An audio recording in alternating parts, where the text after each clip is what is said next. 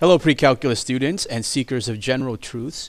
In this set of videos here, we are going to study how sinusoidal waves and uh, in general trigonometric functions apply to uh, real world situations. So we're going to start here with a problem on blood pressure.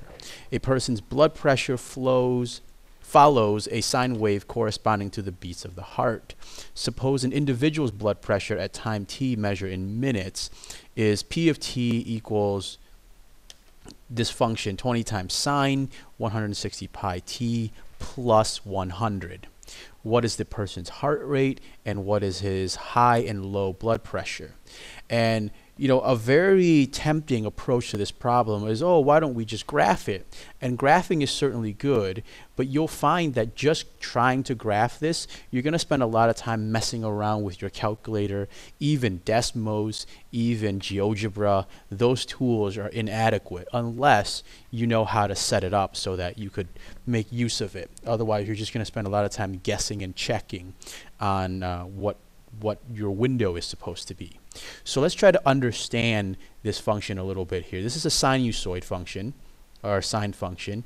And for reference, I'm just going to draw the original sine graph right here so that we can see. Remember that the original sine graph goes from negative 1 to positive 1 for the min and max, and its full period is 2 pi. Okay. Now, this function here has has a 20 in front, so that means that the the waves here is going to get stretched out, right? And it's going to have an amplitude of 20. So if we take the sine graph and we draw the exact same thing again, right, it's going to look something basically the same picture, except the scale is going to be different. You're going to have a, a max of 20, a min of negative 20. And then if you look at the vertical shift, everything gets pushed up by 100 units, right? So now if we draw a slightly more improved picture of this, the maximum point here is actually going to occur at 120. Right? And the minimum point is going to be negative 20 plus 100. So it's going to occur right around 80. So that's 120. This is 60. So let's say this is about 80 right here. Okay and then the middle of the wave is going to occur right at 100.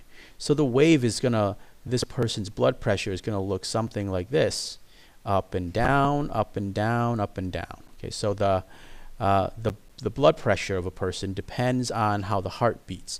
Well, when the heart contracts, the blood pressure spikes. When it relaxes, the, the blood pressure drops. And keep in mind here, this is along the t-axis, and this is measured in minutes. Okay.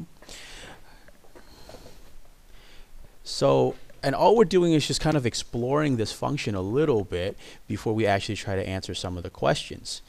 And let's look at the horizontal movement here, or the horizontal effects here. This part right here, 160 pi. Okay, this of course changes the period.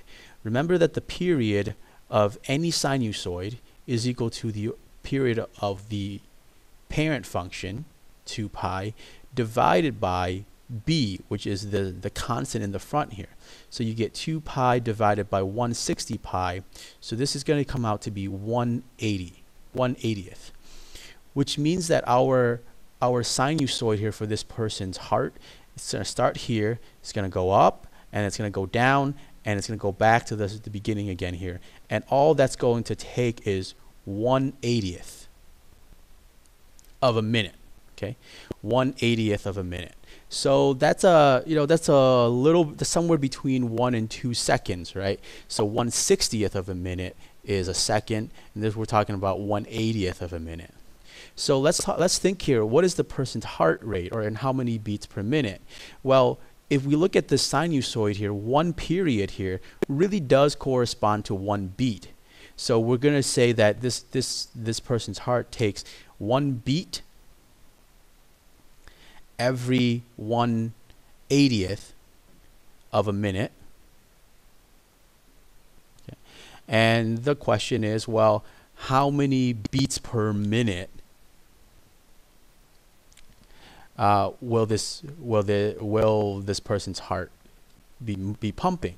And you can see here we actually have the right units already. We just have to convert it. So we have one beat per 180th of a minute. If you do work out this math, it turns out that it's just going to be 80 beats per minute.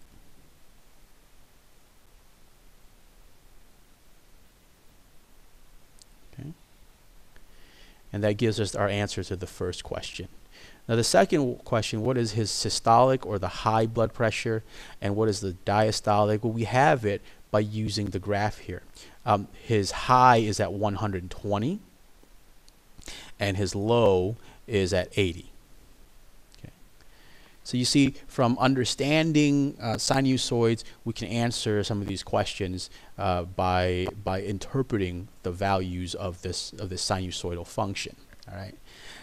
And, uh, and again, even if you try to use the best technological tools, it'll be quite difficult without understanding what your window is. And you might spend a lot of time fumbling with your technology before you do. All right, so we'll end this video here. We're to move on to something that's a little bit different, um, and, uh, and we'll go from there.